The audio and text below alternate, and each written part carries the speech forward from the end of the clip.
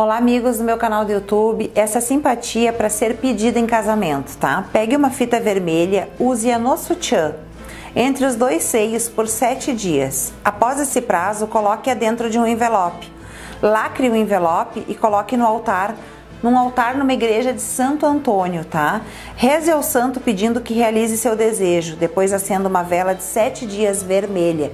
Você vai ter uma surpresa, você vai ter uma resposta. Está com o casamento trancado, o cara não se decide, tá enrolando, tá protelando, né? Tá aí, ó, que nem quase eu, né? 10 anos de namoro para depois sair o casamento. Então tá na hora de fazer uma simpatia ou até mesmo uma amarração amorosa. Eu passei aqui a simpatia para Santo Antônio, mas se você quiser mais informações, o meu site é www.magiacigana.net.